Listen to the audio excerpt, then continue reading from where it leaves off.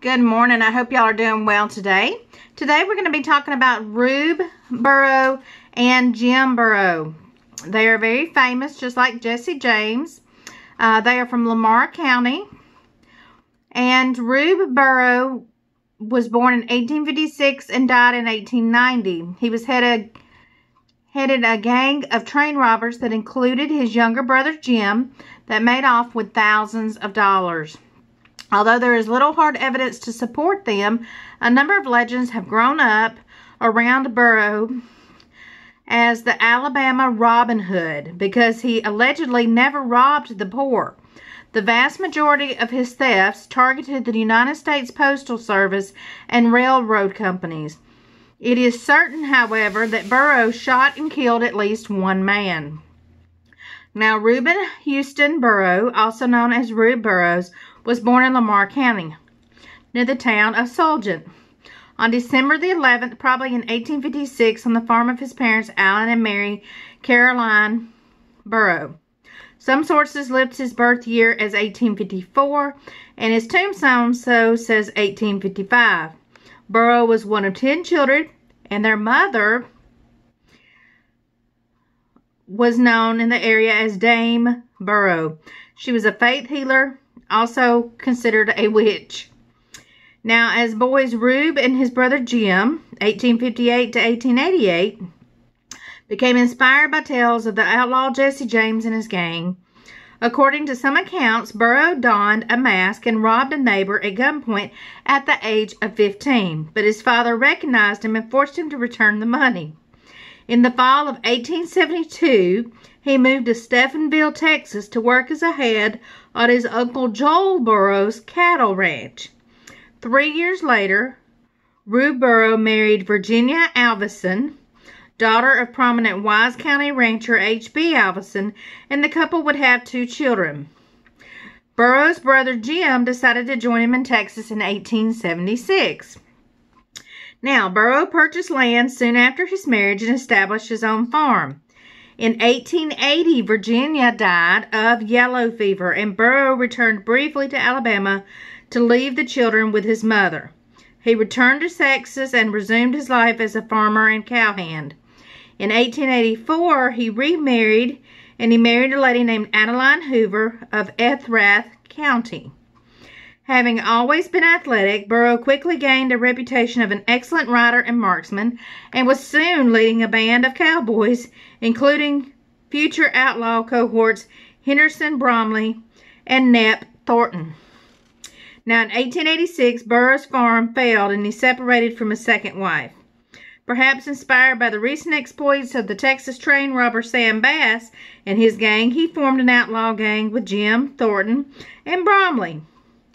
The gang first headed to what was at the time Indian Territory, now known as Oklahoma, but met with little success. In December, the gang robbed $300 from a train on the Fort Worth and Denver line at Bellevue, Texas, on their way home to Erath County. Now, on January the 23rd, 1887, these two gentlemen uh, robbed a train with his other gang members on the Texas and Pacific line at Gordon, Texas, netting several thousand dollars. After escaping into the Texas Hill Country, the men returned home to Alexander and resumed their normal lives to avoid attention from the authorities. Now, in March, the Burrow brothers purchased land in Erath County and earned their living as cattlemen and farmers until early May. Burrow then raised his former gang, augmented by the ranch hand William Brock, and made plans to rob the train to Gordon again. They were forced to turn back by high waters, though, in the Brazos River. On June the 4th, 1887, they robbed a train at the town of Benbrook, and it's in Texas, and made off with more than $2,000. And y'all know that's a lot of money back then. After returning for a time to their farms again to avoid suspicion, they robbed the same train in Benbrook in September netting more than 2,500. In November, Burrow and his brothers traveled to Lamar County to visit their family. In December, while still in Alabama, the brothers appeared to have met up with William Brock and robbed the St. Louis, Arkansas, and Texas Railroad lines in Genoa, Arkansas. On December the 9th, they made off with the monies collected for the Illinois lottery, raising the attention of the Pinkerton National Detective Agency, which of course was a private security and investigative organization often employed by the railroad companies. After a brief skirmish with a sheriff and his men outside Texarkana, Arkansas, the Burrow brothers returned to Lamar County and William Brock headed back to Texas. There, the Pinkerton agents traced him via coats the men had discarded near the tracks after the robbery, arrested them on December the 31st, 1887, outside the town of Dublin, Texas. He soon implicated the Burrow brothers and told the detectives where they were. Now, in early January of 1888, Pinkerton Assistant Superintendent John McGinn raised a party in Lamar County to arrest Burrow at his house but lost him after a series of errors about which house was the right one. That night, the brothers boarded a Louisville and Nashville train just south of Birmingham and headed south. A conductor on the train recognized them from the police fire, flyers, wired ahead to the station in Montgomery, Alabama, where the brothers intended to get off, and arranged for the police to meet the train when it stopped. The police attempted to lure them to the jail when they left the train, but posing as railroad workers and offered to find them lodging. However, the Burrows realized the ruse and fought with the police. Rube escaped after shooting an officer, but Jim was captured. Burrow escaped the subsequent manhunt, stole a horse, and headed south, where his pursuits lost his trail. Burrow then turned back north and returned to Lamar County to seek news of his brother, who was now imprisoned in Little Rock, Arkansas. Now, in March of 1888, Burrow partnered with Leonard C. Brock, also known as Lewis Waldrop, who had worked with Burrow as a ranch hand in Texas, and convinced him to adopt the name of notorious Texas train robber Joe Jackson. Now, uh, he did this to strike fear in pursuers by convincing them that he had taken up with an even more dangerous outlaw. The men set out from Lamar County and traveled south through Columbus, Mississippi, before heading east and seeking shelter in a lodging camp, logging camp in the backwoods of Baldwin County, Alabama. In May, Burrow and Brock headed back north to Lamar County, hoping that their pursuers had given up interest in the area. After reaching home, Burrow began working on a plan to free his brother from jail. In August, Burrow and Brock headed for Little Rock after learning that Jim Burrow would be moved to Texarkana. Now, the men could not intercept Burrow's train. However, after arriving, sorry, we lost our picture. There we go. After arriving in Texarkana, Jim Burrow wrote home to his family and sent funds for a lawyer and voiced his belief he would be acquitted of all charges when his trial took place for the following March. Well, in late September, however, he fell ill and he died on October the 5th, 1888, most likely of tuberculosis back then. Having failed in their rescue attempt, Burrow and Brock headed back to Lamar County, taking back roads to avoid detection. On December the 15th, 1888, they robbed a train in Duck Hill, Mississippi, and shot and killed a passenger who attempted to thwart the robbery. Now, his mother raised his murder raised alarms in the national press and among the railroad companies, who feared a loss in revenue if the safety of the train travel came under question, because the description of the shooter also matched that of train robber Eugene Bunch. The Pinkertons pursued him rather than Burrow. Now, Burrow and his men returned safely to Lamar County.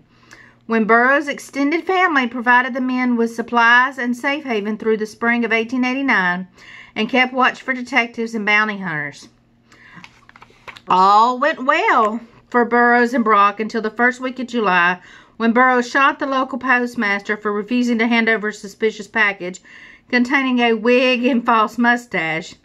And in the aftermath, three of the Burrows relatives were jailed briefly for aiding the outlaws. Safe among Burrow's network of relatives, however, the men remained in the area until September. Now, during the first week of September, Burrow and Brock, now joined by Burrow's cousin, Rube Smith, set out to the southwest in search of a likely site for their next train robbery. They robbed the mail car and express car of the Mobile and Ohio Railroad line at Buckatunna, Mississippi, of several thousand dollars and then returned to Lamar County once again. By November, however, the police and bounty hunter presence were making Burrow nervous.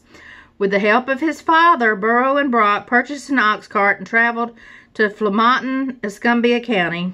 Arriving on December the 14th, 1889, several days later, Rube Smith and associate James McClung were captured at the Amory, uh, Mississippi, after attempting to rob a train.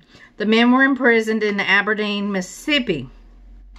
For the next two months, detectives searched all over Alabama for Burrow and Brock, and in early February, a detective questioned a ferryman at a crossing near Milton, Florida. And learning that Burrow and his companion had split up after reaching Flomaton, and that Burrow was working at a lodging camp in Santa Rosa County, Florida, across the Yellow River. Once again, Burrow somehow detected an ambush on his grain hauling route and escaped into the woods. Brock, however, was captured on a train in the Fernbank station in Lamar County, where he traveled in the hope of finding Burrow. After his arrest, Brock was taken to the prison in Memphis, Tennessee to await trial. Well, on September the 1st, 1890, word reached detectives of the robbery of an L&N train at Pollard that apparently Burrow had pulled off single-handedly. Well, detectives traced him back to the camp in Santa Rosa County in Florida and took up watch in the home of the family that Burrow had been staying with. The family got word to Burrow, however, and he fled the area and lived in the backwoods. Outside Burrow, however, uh, outside Demopolis in Marengo County, Burrow was recognized by a man who tricked Burrow into stopping at a friend's house for dinner and who, with the help of the friend, captured Burrow and held him until detectives arrived. Now, Burrow was then bound to a horse and taken to Linden, the Marengo County seat. On the morning of October the 9th, 1890, Burrow had not been in custody for half a day when he attempted to escape by getting the police to untie his hands so he could eat, then pulling a hand pistol on them. He made his way to the front of the jail where he engaged in a shootout with local merchant Jefferson Davis Carter. Burrow fired all of his bullets in his pistol, striking Carter once in the abdomen before Carter shot Burrow in the chest as he turned to run, killing him instantly. Rube Burrow's body was shipped by train back to Lamar County, making several stops along the way so that the public could see the body of the famous train robber.